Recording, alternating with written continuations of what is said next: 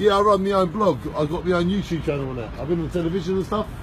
It? Uh, it's- called Danny Michael Sloggett. Let me just make this film and then I'll give it to you. We are connected. I've been on Channel 5, Benefits by the Sea, Jaywick, ITV, a few other channels, Europe. And I'm just basically like an independent filmmaker who's a community leader where I live.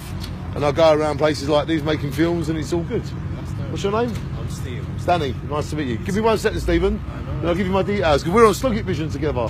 He's my man. He loves Lee Scratch Perry. What's good? What's And, good? and we know what hero he really is, don't we? Right, tell him, tell him. Yeah, we do. And we people think it's always about Bob Marley, who we love, but Lee Scratch Perry gave him his opportunity.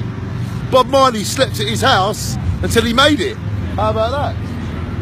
One second, we are at the KOKO. We are here in Camden Town. We're talking to Stephen, a very nice man.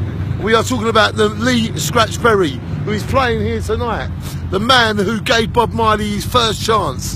And I love Camden Town. And I love the KOKO. Take a look, ladies and gentlemen.